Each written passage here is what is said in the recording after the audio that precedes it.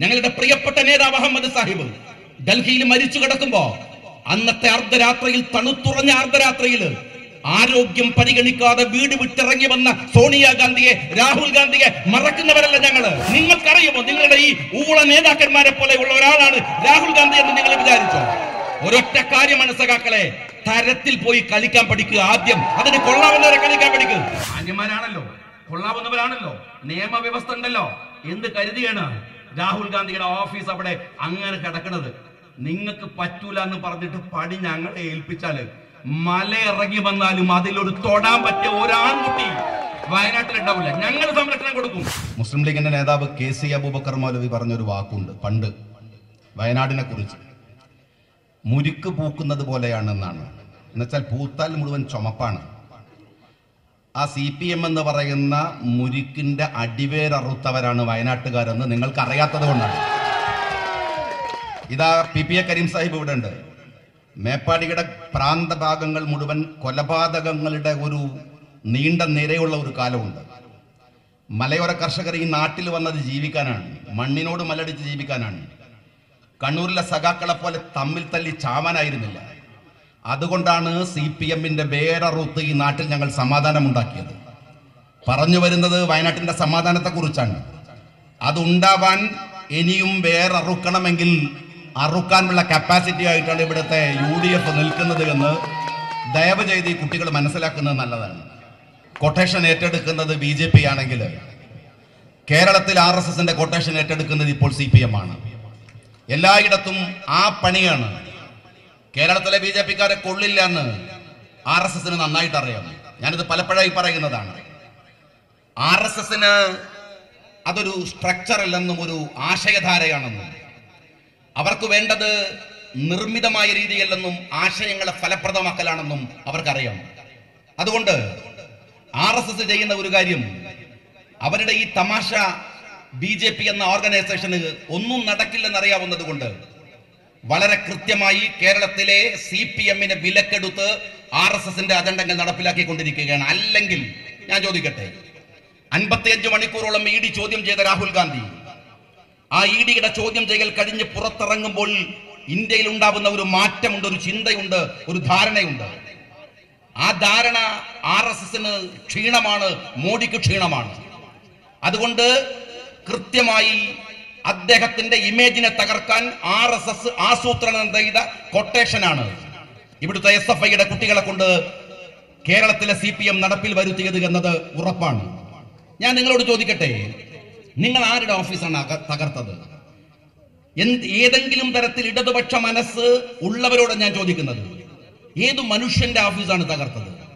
ആ മനുഷ്യൻ എപ്പോഴാണ് വിശ്രമിച്ചത്? ഇന്ത്യയുടെ ഗ്രാമങ്ങൾ മുഴുവൻ ഇന്ത്യയുടെ നഗരങ്ങൾ മുഴുവൻ കൊറോണ വന്ന കാലത്ത് നിങ്ങൾക്ക് ഓർമ്മയില്ലേ?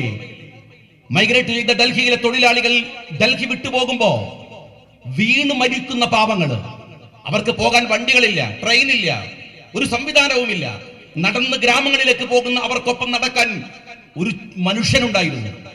ആ മനുഷ്യന്റെ പേരാണ് രാഹുൽ ഗാന്ധി എന്ന് പറയുന്നത്. നിങ്ങൾക്ക് അറിയില്ലെങ്കിൽ ഓർത്തു വെച്ചോ നിങ്ങൾ നോട്ട് നിരോധനത്തിന്റെ സമയങ്ങളിൽ പാവങ്ങളുടെ കൂടെ തെരുവിൽ ചെന്ന് അവർക്ക് വേണ്ടി സംസാരിച്ചത്. ഞങ്ങൾ എന്തുകൊണ്ടാണ് നിങ്ങൾ ഈ രാഹുൽ ഗാന്ധിക്ക് വേണ്ടി വേണ്ടി സംസാരിക്കുന്നത് എന്ന് ഞങ്ങൾ ലീഗുകാരോട് ചോദിക്കുന്നവരുണ്ട്. ഞങ്ങൾക്കറിയാം ഞങ്ങളുടെ പ്രിയപ്പെട്ട നേതാവ് അഹമ്മദ് സാഹിബ് ഡൽഹിയിൽ മരിച്ചു കിടക്കുമ്പോ അന്നത്തെ അർദ്ധരാത്രിയിൽ തണുത്തുറഞ്ഞ അർദ്ധരാത്രിയിൽ ആരോഗ്യം പരിഗണിക്കാതെ വീട് വിട്ടിറങ്ങി വന്ന സോണിയാഗാന്ധിയെ രാഹുൽ ഗാന്ധിയെ മറക്കുന്നവരല്ല ഞങ്ങൾ. അപ്പം മാത്രമല്ല ഇന്ത്യയിലെ മൈനോറിറ്റി ഇന്ത്യയിലെ പീഡിത സമൂഹം ഇന്ത്യയിലെ പാവങ്ങൾ എവിടെയെങ്കിലും ബുദ്ധിമുട്ടുമ്പോ ഒരു സമയം ആ മനുഷ്യൻ വിശ്രമിച്ചിട്ടില്ല. അവരുടെ കൂടെ ഉണ്ടായിരുന്നു. നിരന്തരമായി കൂടെ ഉണ്ടായിരുന്നു. നിങ്ങൾക്കറിയുമോ സഖാക്കളെ? ഇ ഡി നിരന്തരമായി ചോദ്യം ചെയ്യുന്ന സമയത്ത് ചെയ്തുകൊണ്ടേയിരിക്കുന്ന സമയത്ത് പതിനഞ്ചു മിനിറ്റ് അതിനിടയിൽ ഒരു വിശ്രമം കൊടുത്തു. പതിനഞ്ചു മിനിറ്റ്. ആ പതിനഞ്ചു മിനിറ്റിൽ രാഹുൽ ഗാന്ധി ട്വീറ്റ് ചെയ്തത് എന്താണെന്ന് അറിയുമോ ഇന്ത്യയിൽ നിങ്ങൾ കൊണ്ടുവരാൻ ശ്രമിക്കുന്ന സേനയെ കുറിച്ചാണ് ആർ എസ് എസിന്റെ സേനയെ കുറിച്ചാണ് ആ മനുഷ്യൻ മറ്റൊരാൾക്ക് എസ് എം എസ് അയക്കുകയല്ല വാട്സ്ആപ്പ് മെസ്സേജ് അയക്കുകയല്ല അദ്ദേഹം ട്വീറ്റ് ചെയ്തത് ഇന്ത്യയിലെ ജനങ്ങൾക്ക് വേണ്ടിയായിരുന്നു ആ പതിനഞ്ചു മിനിറ്റ് വിശ്രമ സമയത്ത് പോലും. അത് കഴിഞ്ഞ് പിന്നെയും ചോദ്യം ചെയ്യുകയാണ്. അത് കഴിഞ്ഞ് രാഹുൽ ഗാന്ധിക്ക് അനുവദിക്കുന്നത് പത്തു മിനിറ്റ് ആണ് ആ പത്തു മിനിറ്റിൽ ആ മനുഷ്യൻ ട്വീറ്റ് ചെയ്തത് രാജ്യത്ത് വരുന്ന വിലവർദ്ധനവിനെ കുറിച്ചാണ്. നിങ്ങൾ ആരെയാണ് ആക്രമിക്കുന്നത് എന്ന് സി പി എമ്മുകാരൻ ഒരു നിമിഷമെങ്കിലും ആലോചിച്ചു നോക്കണമെന്ന് ഞാൻ നിങ്ങളോട് പറയുകയാണ്. നിങ്ങൾ ആരെ പേടിപ്പിക്കാൻ ഒരു ഓഫീസിലെ ചില്ലു തകർത്താൽ ആ ഓഫീസ് അങ്ങ് അങ്ങ് തകർക്കാൻ വന്നാൽ അതിലെ ജനാധിപത്യ വിധ്വംസകതയെ കുറിച്ചാണ് ഞങ്ങൾ സംസാരിക്കുന്നത്. ഭയത്തെക്കുറിച്ചല്ല. നിങ്ങൾക്കറിയാത്തത് കൊണ്ടാണ് ഇവിടെ പറഞ്ഞല്ലോ എന്റെ നേതാക്കന്മാർ. നിങ്ങൾക്കറിയാത്തത് കൊണ്ടാണ് ആരെയാണ് പേടിപ്പിക്കുന്നത്? ഇന്ത്യയെ വിലക്ക് തരുമോ എന്ന് ചോദിച്ച മോത്തിലാലിന്റെ മകനാണ് പണ്ഡിറ്റ് ജവഹർലാൽ നെഹ്റു. ആ നെഹ്റുവിന്റെ മകളാണ് ഇന്ദിരാഗാന്ധി. ആ ഇന്ദിരാഗാന്ധിയുടെ മകനാണ് രാജീവ് ഗാന്ധി. ആ രാജീവ് ഗാന്ധിയുടെ പുലിക്കുട്ടിയായ മകനെയാണോ നിങ്ങൾ പേടിപ്പിക്കാൻ ശ്രമിക്കുന്നത്? നിങ്ങൾക്കറിയുമോ? നിങ്ങളുടെ ഈ ഊള നേതാക്കന്മാരെ പോലെ ഉള്ള ഒരാളാണ് രാഹുൽ ഗാന്ധി എന്ന് നിങ്ങൾ വിചാരിച്ചോ? ഒരൊറ്റ കാര്യമാണ് സഖാക്കളെ തരത്തിൽ പോയി കളിക്കാൻ പഠിക്കുക ആദ്യം. അതിന് കൊള്ളാവുന്നവരെ കളിക്കാൻ പഠിക്കുക. നിങ്ങൾ എന്ത് വൃത്തികേടാണ്? ജനാധിപത്യത്തിന്റെ മുഴുവൻ സാധ്യതകളെയും തള്ളിക്കളഞ്ഞ് സംവാദത്തിന്റെ സാധ്യതകളെ തള്ളിക്കളഞ്ഞ് ഈ നാടിനെ എവിടെ കൊണ്ടുപോകാനാണ് നിങ്ങൾ ശ്രമിക്കുന്നത്? വേരറ്റ് പോയിട്ടുണ്ട് രാജ്യത്ത്. ഇതിങ്ങനെ മോളിൽ ഇങ്ങനെ പടർന്ന് കിടക്കാണ്ട് ഇറങ്ങാൻ വേരില്ല. അറിയോ നിങ്ങൾ? ആകെ ഈ കൊച്ചു കേരളത്തിൽ കുറച്ചിടത്ത്. എന്നാൽ അഹങ്കാരം കണ്ടാൽ ഇന്ത്യ ഭരിക്കുന്നത് നിങ്ങളാണെന്ന് തോന്നുന്ന ഒരു മുഖ്യമന്ത്രിയും കുറെ പിണിയാളുകളും. എന്തൊരു കഷ്ടമാണിത്. എന്തൊരു കഷ്ടമാണ്. ഞാൻ സ്നേഹപൂർവം സി പി എമ്മിന്റെ സുഹൃത്തുക്കളോട് പറയുന്നു നിങ്ങൾ ചെയ്തുകൊണ്ടിരിക്കുന്നത് അപകടകരമായ ഒരു പ്രവൃത്തിയാണ്. രാജ്യത്ത് വരേണ്ട ഒരു മാറ്റത്തെ രാജ്യത്തുണ്ടാവേണ്ടുന്ന ഒരു മാറ്റത്തെ ഗുണപരമായി വരേണ്ടുന്ന ഒരു മാറ്റത്തെ നിങ്ങൾ തള്ളിപ്പറഞ്ഞുകൊണ്ടിരിക്കുകയാണ് എതിർത്തുകൊണ്ടിരിക്കുകയാണ്. എന്നിട്ട് സി പി എം പറഞ്ഞ രസം എന്താണെന്നറിയോ നിങ്ങൾ ഇന്നലെ? ഞങ്ങൾ ആ കുട്ടികളെ അക്രമത്തിന് അനുകൂലമല്ല. മുഖ്യമന്ത്രി തള്ളി പറഞ്ഞു പാർട്ടി സെക്രട്ടറി തള്ളി പറഞ്ഞു മുന്നണി കൺവീനർ തള്ളി പറഞ്ഞു ഞാൻ ചോദിക്കട്ടെ ഈ കുട്ടികളുടെ കേസ് ആരാ നടത്തുക? ഈ കുട്ടികളുടെ കേസ് നടത്തുകാരാണ് ആ കേസ് എങ്ങനെ മുന്നോട്ട് കൊണ്ടുപോകുക?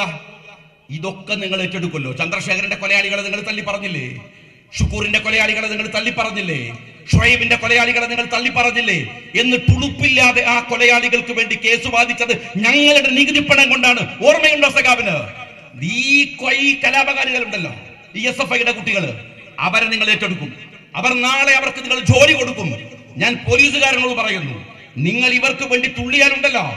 ആ ഡിവൈഎസ്പിക്ക് സംഭവിച്ച സസ്പെൻഷൻ അല്ലാതെ വേറെ ഒരു ചുക്കും സംഭവിക്കാൻ പോണില്ല. നിങ്ങൾ സൂക്ഷിച്ചോളൂ. നിങ്ങൾ ഇന്ന് ഇവർക്ക് വേണ്ടി കളിക്കുന്ന ഈ കളി ഉണ്ടല്ലോ അത് അപകടമാണ്. ആർക്ക് അപകടം? നിങ്ങൾക്ക് അപകടം. നഷ്ടം നിങ്ങൾക്കേ ഉണ്ടാകൂ. ഒരു ഉളുപ്പുമില്ലാതെ ഈ കൊലയാളികളെ കലാപകാരികളെ ഇവർ ആക്രമിക്കും. രാഹുൽ ഗാന്ധിയുടെ ഓഫീസിലേക്ക് നിങ്ങൾ അക്രമം നടത്തുമ്പോൾ സ്മൃതി ഇറാനി വന്നില്ലായിരുന്നോ ഇവിടെ മാസങ്ങൾക്ക് മുമ്പ്? ആഴ്ചകൾക്ക് മുമ്പ്? എടോ എസ് എഫ് ഐക്കാരാ നട്ടൽ നടപ്പുറത്തുണ്ടെങ്കിൽ ഒന്ന് പോയി ആ സ്മൃതി ഇറാനിയെ തടുക്കാൻ നിങ്ങൾ തയ്യാറായോ? ഒരു പ്രകടനം നടത്തിയോ? രാഹുൽ ഗാന്ധിയുടെ ഈ മണ്ഡലത്തിൽ വന്ന് കുഴപ്പമുണ്ടാക്കാൻ ബി ജെ പി പറഞ്ഞു വിട്ട ആർ എസ് എസ് പറഞ്ഞു വിട്ട സ്മൃതി ഇറാനി ഇവിടെ നിറങ്ങിപ്പോയപ്പോ താനൊക്കെ എവിടെയായിരുന്നല്ലോ? വലിയ ബി ജെ പി വിരുദ്ധത പറയുന്നവർ വലിയ ഫാസിസ്റ്റ് വിരുദ്ധത പറയുന്നവർ എവിടെയായിരുന്നു നിങ്ങൾ ഉണ്ടായിരുന്നത്? എസ് എഫ് ഐക്കാരോട് ഞാൻ ചോദിക്കട്ടെ. നിങ്ങൾ ഇവിടുത്തെ പോലീസുകാരടക്കം കെ എസ് യുക്കാരൻ എം എസ് എഫുകാരൻ യൂണിവേഴ്സിറ്റിയിൽ ഫീസ് വർദ്ധിപ്പിക്കുമ്പോ അവിടങ്ങളിൽ വിദ്യാർത്ഥികൾക്ക് പ്രശ്നമുണ്ടാകുമ്പോ സമരം ചെയ്യാൻ പോകുന്നവരെ അടിച്ചോടിക്കുന്നവരാ നിങ്ങൾ എന്നിട്ട് നിങ്ങൾ ഇന്നലെ ഇന്നലെ ചെയ്തതോ? അവർക്ക് അവർക്ക് കൂടെ ഇരിക്കാൻ അവരോട് ചേർന്നിരിക്കാൻ നിങ്ങൾ ഇന്നലെ എല്ലാ സൗകര്യങ്ങളും ചെയ്തു വെക്കുകയാണ് ചെയ്തിട്ടുള്ളത്. ഇവിടുത്തെ എസ് എഫ് ഐക്കാരൻ നേരത്തെ പറഞ്ഞു ഞാൻ ഇതിന്റെ വിശദാംശങ്ങളിലേക്ക് കടക്കുന്നില്ല. ഒരു കാര്യം ഇത്തിരിയെങ്കിലും ഇടതുപക്ഷ ബോധമുണ്ടെങ്കിൽ വീണ്ടും ഞാൻ പറയുന്നു. ഒന്ന് നിങ്ങൾ ഓർത്തോ. നിങ്ങൾ ഈ തെരുവിൽ നിന്ന് വിളിക്കുന്ന മുദ്രാവാക്യമുണ്ടല്ലോ. ഇൻഖുലാബ് സിന്ദാബാദ് എന്ന് പറഞ്ഞ് നിങ്ങൾ ഉയർത്തുന്ന ചുവന്ന പതാകയുണ്ടല്ലോ. അത് മുകളിലെത്തി വിടരുമ്പോൾ കാവി നിറമാണ് ഇന്ന് ഇന്ത്യയിൽ കണ്ടുകൊണ്ടിരിക്കുന്നത് എന്ന് നിങ്ങൾ ഓർത്തോ. താഴെ നിന്ന് നിങ്ങൾ രക്തസാക്ഷികൾക്ക് വേണ്ടി മുദ്രാവാക്യം വിളിച്ച് താഴെ നിന്ന് നിങ്ങൾക്ക് രക്തസാക്ഷികൾക്ക് വേണ്ടി ഇങ്കുലാബ് വിളിച്ച് നിങ്ങൾ ആ പതാക ഉയർത്തുകയാണ്. അത് മുകളിലെത്തി വിടരുമ്പോൾ അത് കാവിയാണ്. എന്തുകൊണ്ട് വിളിക്കുന്ന സഖാബിന്റെ കുഴപ്പമല്ല? വിളിക്കുന്ന മുദ്രാവാക്യത്തിന്റെ കുഴപ്പമല്ല. മുകളിൽ ഇരിക്കുന്നവന്റെ കുഴപ്പമാണ്. കൊട്ടേഷൻ അവർ ഏറ്റെടുത്തിട്ടുണ്ട്. ലാവലിൻ കേസ് അടക്കം നിരവധി കേസുകൾ അടക്കം നിങ്ങളെ വരിഞ്ഞു മുറുക്കി നിങ്ങളെ ഏൽപ്പിച്ച കൊട്ടേഷൻ അല്ലെങ്കിൽ ഞാൻ ചോദിക്കട്ടെ? അൻപത്തിയഞ്ച് മണിക്കൂർ രാഹുൽ ഗാന്ധിയെ ചോദ്യം ചെയ്യുക. E D. എനിക്ക് ഞാൻ ഇന്നാൾ സതീഷ് പറയുമ്പോൾ പറഞ്ഞു അദ്ദേഹത്തോട് എനിക്ക് പ്രശ്നമൊന്നുമില്ല. ഞാൻ ഭയങ്കര സന്തോഷമായി. കാരണം എന്താ വെച്ചാൽ കോഴിക്കോട് പാർലമെന്റൽ മണ്ഡലത്തിൽ ഈട് ചോദ്യം ചെയ്ത രണ്ടാൾ ഒന്ന് എന്നെ രാഹുൽ ഗാന്ധിയാണ്. എനിക്ക് പമ്പിച്ച അഭിമാനായി പോയി അഭിമാനായി പോയി രാഹുൽ ഗാന്ധി ഉണ്ടല്ലോ നിങ്ങൾ ഞാൻ നിങ്ങളോട് ചോദിക്കുന്നത് രാഹുൽ ഗാന്ധിയെ ചോദ്യം ചെയ്തു അമ്പത്തഞ്ച് മണിക്കൂർ. ഞാൻ ചോദിക്കട്ടെ എന്തേ കേരളത്തിന്റെ മുഖ്യമന്ത്രിയെ ചോദ്യം ചെയ്യാത്തത്? ഒരു മണിക്കൂർ. എത്ര കേസുകളുണ്ട്? എപ്പ കക്കാൻ തുടങ്ങിയതാണ്. ആലോചിച്ച് നോക്ക് നിങ്ങൾ ഏത് കാലത്ത് അന്ന് ലാവലിൻ കേസ് മുതൽ തുടങ്ങിയതല്ലേ നിങ്ങൾ തുടങ്ങിയതല്ലേ? പണ്ട് പറയാറുണ്ട് ഓരോരുത്തരുടെ നിലവാരം അനുസരിച്ചിട്ട് ഓരോരുത്തർ കട്ടോണ്ടിരിക്കല്ലേ? ഇതെന്തൊരു സംഘടനയാണ്? ഇതെന്തൊരു പാർട്ടിയാണ്? മോളിലെ മുഖ്യമന്ത്രി അഞ്ഞൂറും ആയിരം കോടി കക്കുമ്പോ ജില്ലാ സെക്രട്ടറി ഇരുന്നൂറും നാൽപ്പതും ഒക്കെ കട്ടോണ്ടിരിക്കുകയാണ് താഴേക്ക് താഴേക്ക് എത്തിക്കൊണ്ടിരിക്കുമ്പോ കിണ്ടി കൊളാമ്പി ചെമ്പ് ബിരിയാണി അടക്ക സാധനങ്ങൾ അടിച്ചു മാറ്റിക്കൊണ്ടിരിക്കുകയാണ്. ഒരു കള്ളന്മാരുടെ കൂട്ടായ്മല്ലേ അല്ലേ ഒരു കള്ളന്മാരുടെ കൂട്ടായ്മല്ലേ നിങ്ങൾ ഒരു കാര്യം മനസ്സിലാക്കണം. അഞ്ച് കൊല്ലം എന്ന് പറയുന്നത് ജനാധിപത്യത്തിൽ തന്ന സമയം തന്നെയാണ്. അത് ജനങ്ങൾ തന്ന സമയമാണ് അവരെല്ലാം മറന്നിട്ട് റോട്ടിലങ്ങ് ഇറങ്ങിയാൽ അഞ്ചു കൊല്ലവും വെച്ച് ഓടേണ്ടി വരും പിണറായിയുടെ സർക്കാർ. ഓർക്കുന്നത് നല്ലതാണ്. അങ്ങനെ ഉണ്ടായിട്ടുണ്ട്. കാലാവധി പൂർത്തീകരിക്കാതെ ഇറങ്ങി പോകേണ്ടി വന്നിട്ടുണ്ട്. നേരത്തെ മുരളിയേട്ടൻ പറഞ്ഞത് പറഞ്ഞ പോലെ അങ്ങനെ ഓവർ വെജിറ്റേറിയൻ ആയതുകൊണ്ട് നിങ്ങൾ സഹിക്കുന്നത് മാത്രം. എല്ലാത്തിനും ഒരു പരിധി ഉണ്ടോ ക്ഷമിക്കുന്നതും സഹിക്കുന്നതിനും ഒരു പരിധിയുണ്ട്. ആ പരിധി അങ്ങ് പോയാലുണ്ടല്ലോ. ആരും ഒന്നും നോക്കില്ല ഞാൻ പറഞ്ഞല്ലോ നിങ്ങളുടെ വേരറുത്ത ജില്ലയാ വയനാട്. കൂടുതൽ അറിയോ നിനക്ക്? മീനങ്ങാടി അറിയോ? എനിക്ക് ഇപ്പോഴും ഓർമ്മയുണ്ട് സീതിഹാജി മീനങ്ങാടിയിൽ കൽപ്പറ്റയിൽ നിന്ന് പ്രസംഗിക്കാൻ പോകുമ്പോൾ ഞാൻ അന്ന് പൈലറ്റ് വാഹനത്തിലെ അനൗൺസറാണ്. അതിന്റെ മുമ്പിൽ സീതിഹാജി വരുന്നു എന്നൊക്കെ പറഞ്ഞ് പോവാണ്. ചെന്നതേ ഓർമ്മയുള്ളൂ മീനങ്ങാടിയിൽ. മൈക്കുല്യ വിളിച്ചു പറയുന്നത് നമ്മൾ ഓടി തടിയെടുക്കുകയാണ് ചെയ്യുന്നത്. അറിയോ നിങ്ങൾ ആ മീനങ്ങാടി പഞ്ചായത്ത് ഭരിക്കണത് ഞങ്ങളാണോ ഇപ്പോ? നിന്നെ അറുത്തു മാറ്റിയതാണ്. അറുത്തു മാറ്റിയതാണ്. സി പി ഐക്കാരനെ വരി വരിയാക്കി കൊന്ന മേപ്പാടി പഞ്ചായത്ത് മൂപ്പൈനാട് പഞ്ചായത്ത് കൊടുതന പഞ്ചായത്ത് പടിഞ്ഞാറത്തുറ പഞ്ചായത്ത് ഞങ്ങൾ നിങ്ങളുടെ വേരറുത്ത് മാറ്റിയതാണ്. ഒന്ന് തൽക്കാലം ഒരു ഒരു ഗിവ് ആൻഡ് ടേക്കിൽ അങ്ങനെ അങ്ങ് പോയി വരട്ടെ എന്ന് വിചാരിച്ച് നിന്നാൽ മൂപ്പിക്കാനാണ് കുട്ടികളെ വിടുന്നതെങ്കിൽ. ഞാൻ രക്ഷിതാക്കളോട് പറയുന്നു സൂക്ഷിക്കണം നിങ്ങൾ ഇതാ സുധാകരേട്ടൻ ഇവിടെ ഉണ്ട്. അദ്ദേഹത്തിന്റെ കൂടെ കണ്ണൂരിൽ പത്ത് കൊല്ലം ജനപ്രതിനിധിയായി നിന്ന ഒരാളാണ് ഞാൻ. എനിക്കറിയാം കണ്ണൂരിലെ ആളുകൾ ആഗ്രഹിക്കുന്നത് ആ കണ്ണൂരിൽ നിന്ന് ഗുണ്ടകളെ വയനാട്ടിൽ കൊണ്ടുവന്ന് എസ് എഫ് ഐക്കാർക്ക് നിങ്ങൾ ട്രെയിനിങ് കൊടുക്കുന്നുണ്ട്. അതിൽ പെൺകുട്ടികളടക്കമുണ്ട്. ഞാൻ രക്ഷിതാക്കളോട് പറയുന്നു സ്നേഹബുദ്ധിയ ഈ കൂട്ടത്തിൽ പോകുന്നവരെ നിങ്ങൾ സൂക്ഷിച്ചോ. അപകടകരമാണ്. വെറും ഒരു രാഷ്ട്രീയമല്ല അത്. എല്ലാ തോന്നിവാസങ്ങളുമുണ്ട്. എല്ലാ വൃത്തികേടുകളുമുണ്ട്. മയക്കുമരുന്ന് കച്ചവടമടക്കമുണ്ട്. നാളെ നിങ്ങളുടെ മക്കൾ പിഴച്ചു പോകുമ്പോ എവിടെയും പോയി ചോദിക്കണ്ട. സി പി എമ്മിന്റെ ആഫീസിൽ മാത്രം പോയി ചോദിച്ചാൽ മതിയാകും. അവരാണ് ഈ മക്കളെ പിഴപ്പിച്ചുകൊണ്ടിരിക്കുന്നത് നേരത്തെ പറഞ്ഞല്ലോ സ്വാഗതം പറയുമ്പോ അപ്പച്ചേട്ടൻ പറഞ്ഞു എന്താണ്? ചെറിയ കുട്ടികൾ പതിമൂന്നും പതിനാലും. എന്തിനാ വിഷം തിന എത്ര കൂടുതൽ പെട്ടത് ഇത് പോരെന്ന്. വിഷം ഉണ്ടായി എത്ര പോരെ? ചെറുത് പോരെ. അതിന് വിഷം കുത്തി വെക്കാണ്. സൂക്ഷിക്കണത് നല്ലതാണ്. വയനാട്ടിനൊരു നല്ല പാരമ്പര്യമുണ്ട്. ഇവിടുത്തെ മതങ്ങൾ തമ്മിൽ ഇവിടുത്തെ രാഷ്ട്രീയ പാർട്ടികൾ തമ്മിൽ ഞാൻ ഇവിടെ. ഇവിടെ നിന്നിട്ട് ഞങ്ങളുടെ ബഹുമാന്യനായ നേതാവ് പി കെ കുഞ്ഞാലിക്കുട്ടി സാഹിബ് ഒരിക്കൽ പ്രസംഗിക്കുമ്പോ താഴെ അന്ന് കേരള ജാഥ നടത്തുന്ന പിണറായി വിജയൻ സഖാവ് പ്രസംഗിക്കാൻ. അത് കഴിഞ്ഞിട്ട് അവരുടെ റെഡ് വോളണ്ടിയർമാർ ഇതുപോലെ തിങ്ങി നിറഞ്ഞ ഒരു സദസ്സിലൂടെ അങ്ങനെ പോവാൻ. ഞാൻ സ്റ്റേജിൽ ഇരുന്നിട്ട് എന്റെ സുഹൃത്തുക്കളോട് പറഞ്ഞു "ദാ സ- ദാ സുധാകരേട്ടൻ ഇവിടെ ഇരിക്കണ് ഞങ്ങൾക്ക് സങ്കല്പിക്കാനാവൂല കണ്ണൂരിൽ അങ്ങനെ ഒരു വണ്ടി പോണത്. സങ്കല്പിക്കാനാവൂല. വയനാട്ടിലെ രാഷ്ട്രീയത്തിന് ഒരു സൗഹൃദമുണ്ട്. നന്മയുണ്ട്.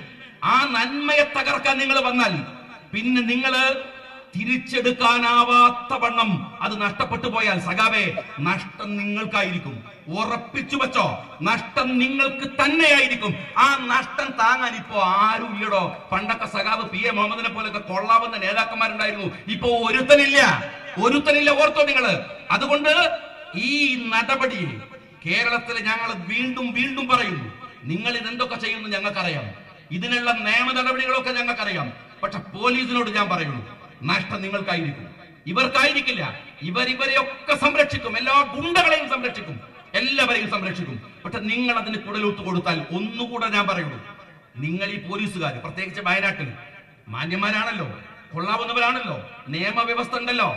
എന്ത് കരുതിയാണ് രാഹുൽ ഗാന്ധിയുടെ ഓഫീസ് അവിടെ അങ്ങനെ കിടക്കുന്നത് നിങ്ങൾക്ക് പറ്റൂല എന്ന് പറഞ്ഞിട്ട് പടി ഞങ്ങളെ ഏൽപ്പിച്ചാൽ മല ഇറങ്ങി വന്നാലും അതിലൊരു തൊടാൻ പറ്റിയ ഒരാൺകുട്ടി വയനാട്ടിൽ ഉണ്ടാവില്ല ഞങ്ങൾ സംരക്ഷണം കൊടുക്കും. അറിയോ നിങ്ങൾ പറ്റില്ലെങ്കിൽ പറയും. ആ കാക്കിയും തൊപ്പിയൊക്കെ അഴിച്ചു വെച്ച് വീട്ടിൽ പോയിരിക്കെ. ഞങ്ങളെ ഏൽപ്പിക്കുക അപ്പൊ കാണിച്ചു തരാം. അവിടെ വരുന്ന ഗുണ്ടകളെ എങ്ങനെ കൈകാര്യം ചെയ്യണമെന്ന്. ഏത് രീതിയിൽ കൈകാര്യം ചെയ്യണമെന്ന് പറ്റില്ലെങ്കിൽ പറയണം. നിയമവ്യവസ്ഥയെ ഞങ്ങൾ മാനിക്കുന്നു. ബഹുമാനിക്കുന്നു. പക്ഷേ അത് ഞങ്ങളുടെ വീക്ക്നെസ് ആയിട്ട് മാത്രം കരുതരുത് എന്ന് മാത്രം അഭിപ്രായപ്പെട്ടുകൊണ്ട് ഈ സമരത്തിന്റെ കൂടെ ചേർന്ന് നിന്നുകൊണ്ട് ഞാൻ എന്റെ അഭിവാദ്യങ്ങൾ നിർത്തുന്നു. ജാഹൻ